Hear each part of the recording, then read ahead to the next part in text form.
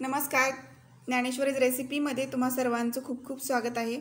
आज आपण शाळेच्या डब्यासाठी किंवा ऑफिसच्या डब्यासाठी एक छान अशी भाजी बनवणार आहोत. ही भाजी आहे दोडक्याची. अगदी मस्त सुकी भाजी आहे छान अशी. आणि शाळेच्या डब्यासाठी किंवा ऑफिसच्या डब्यासाठी तुम्ही नक्की बनवू शकता. आणि छान अशी होते सुद्धा. बारीक कापून घेतलेला दोडका घेतला आहे. दोन ते तीन दोडके घेतलेत आणि दोन कांदे घेतलेत बारीक कापून. आणि लसूणच्या पाकळ्यासुद्धा बारीक कापूनच घेतलेल्या आहेत. तर इथे अशा पद्धतीने दोडका कापून घेतला आहे. स्वच्छ पाण्याने धुवून शिरा काढून मग तो कापलेला आहे.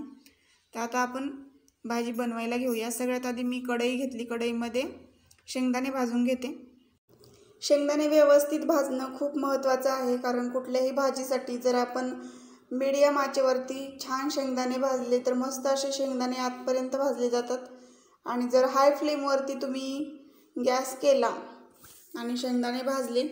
तर ते फक्त वरती वरवरून दिसतात आपल्याला भाजल्यासारखे पण ते भाजलेले नसतात आतून. पूर्ण कच्चे राहतात आणि त्याची टेस्टसुद्धा खूप वेगळी लागते.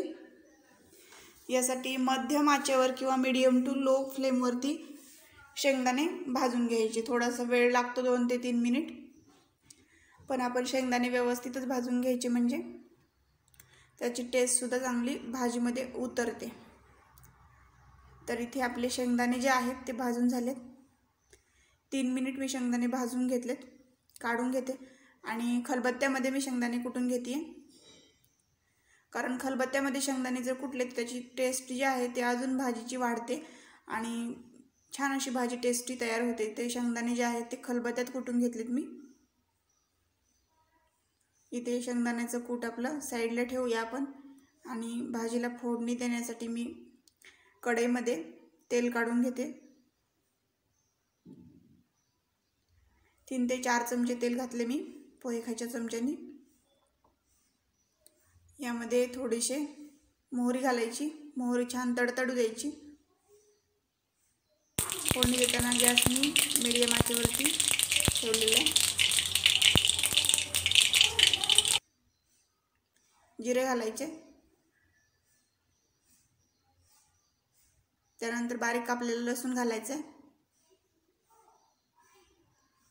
लसूण चांगला थोडासा कलर थोडासा बदलेपर्यंत तळू द्यायचं तेलामध्ये आणि नंतर याच्यामध्ये कांदा घालते मी.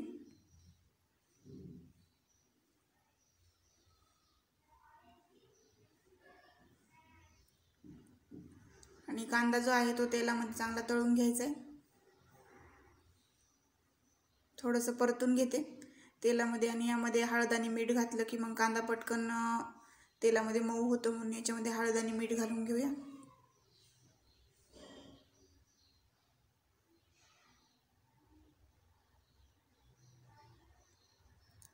पाव चमचा हळद घालते.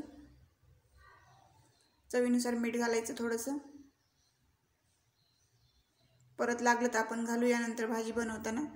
आता थोडंसं घातले मी आणि एक चमचाभर लाल तिखट घातले. आणि अर्धा चमचा काळं तिखट घातले. व्यवस्थित मिसळून घ्यायचा आणि तेलावरती छान कांदा जो आहे तो परतून घ्यायचा.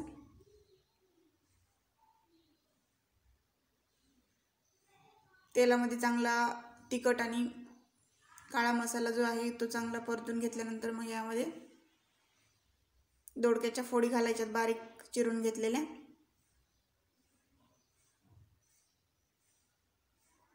व्यवस्थित मिसळून घ्यायचं.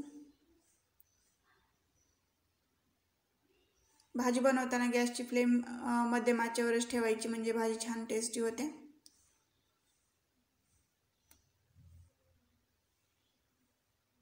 दोन ते तीन मिनिट मी चांगलं परतून घेते दोडका. तेलावरती म्हणजे मऊ होतं थोडासा.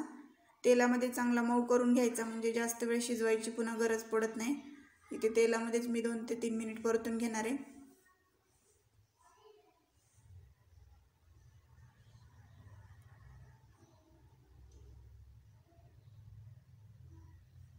मस्त अशी डब्यासाठी भाजी आहे ही. तुम्ही ऑफिससाठी सुद्धा बनवू शकता डब्यासाठी सुद्धा बनवू शकता शाळेच्या. त्याचबरोबर आपल्याला घरीसुद्धा सुकी भाजी बनवायची असेल तर बनवू शकता. दोन मिनिट झाकून ठेवलं आहे मी ताट्याच्यावरती म्हणजे मऊ होईल दोडका. आणि यामध्ये जे पाणी घालायचे थोडंसं आपल्याला ते मी ताटामध्येच ओतलेले. दोन मिनिट ठेवायचं झाकण आपण अशाच पद्धतीनं झाकून ठेवायचं आणि मग नंतर पाणी हे जे आहे ते वाफेवर गरम होतं. ते गरम पाणीच आपल्याला भाजीमध्ये घालायचं आहे बघा इथे दोन मिनटानंतर मी हेच पाणी भाजीमध्ये घातले म्हणजे वेगळं पाणी गरम करायची गरज नाही पडत आणि आपला दोडकासुद्धा करपत नाही. ताटामध्ये पाणी टाकल्यामुळं ताटाला खालून पाणी सुटतं आणि मग दोडका अजिबात करपत नाही.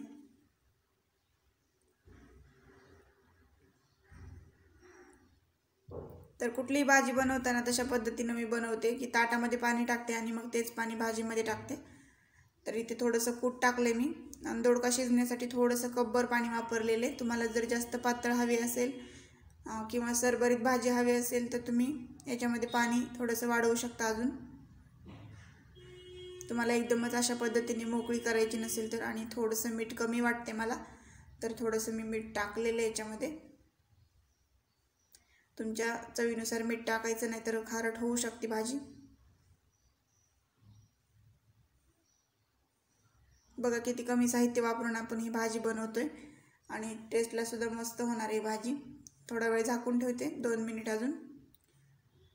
किंवा दोन ते तीन मिनिट झाकून ठेवली की भाजी मग मस्त मऊसर शिजली जाते आणि दोडका पण छान असा होतो. तर अगदी लो फ्लेमवर ठेवली मी.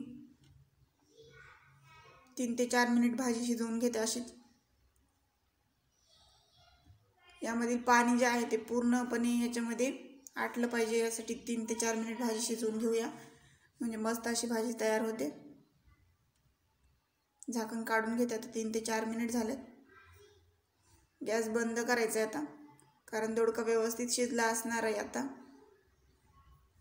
आधीच तेलामध्ये मऊ केलेलं आहे नंतर आपण शिजवून घेतलेलं आहे त्याच्यामुळे दोडका व्यवस्थित शिजलेला आहे.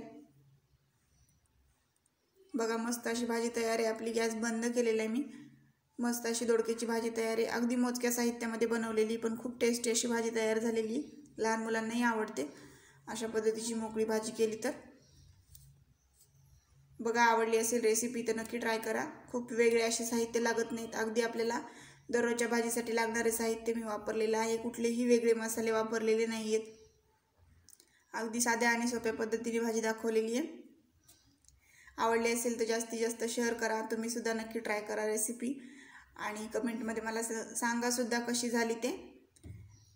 चॅनलला सबस्क्राईब केलं नसेल तर सबस्क्राईब करून घ्या आणि बेल आयकॉन क्लिक करायला अजिबात विसरू नका. पुन्हा भेटू अशाच एका छानशा रेसिपीसोबत तोपर्यंत. धन्यवाद.